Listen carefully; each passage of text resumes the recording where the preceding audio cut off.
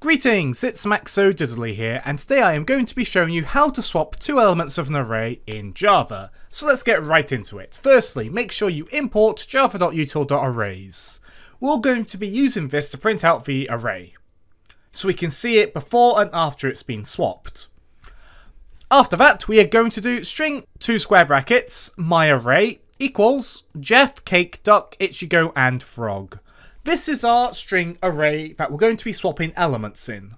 Then we're going to do system.out.println arrays.toString. This line of code literally just prints out the contents of an array. So how do we go about swapping two elements? And by the way, this will work for other types of arrays, so if you have an integer array, a boolean array, a floating point array, it's going to work on all of those. So we're going to be creating two variables. These are going to be swap index 1 and swap index 2. And these are going to be the indexes or elements of the array that we want to swap. So we want to swap index number 1 or elements number 1 with elements number 2.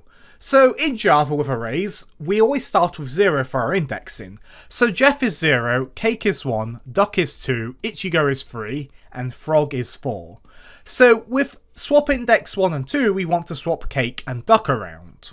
Um, our first step is we need to make a, te a, temporary variable. This needs to be of the variable type your array is. So if you're doing an int array, it would be an int. If you're doing a float array, this would be a float. If you've got a string array, this is a string. So we do string temp, and we're going to do equals my array swap index 1. So we're going to be putting the first element of the array we want to swap, we're going to put the value of it in a temporary variable. After that, we are going to do my array swap index 1 equals my array swap index 2. So if we take this array we have in our example, what we're going to be doing is, this array element that's got cake is now going to contain duck. So this array right now, as of this line of code, is Jeff, duck, duck, Ichigo, frog. And you might be thinking, but Max, we need to put cake where duck is now. And we will, but this is why you made a temporary variable. We need a place to store that value temporarily, so we can do our swap.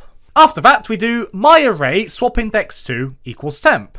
So we're saying, right, this duck element is going to be equal to cake because that's what's stored in our temporary variable. And that's how you do a swap. So after, we're going to then do system.println arrays.toString my array. This is going to print out the array with the swapped values. And by the way, this is a really, really handy three lines of code to remember because swapping stuff is very useful and can be used in a wide variety of things, including sorting. So, let's hit Control S to save and hit play.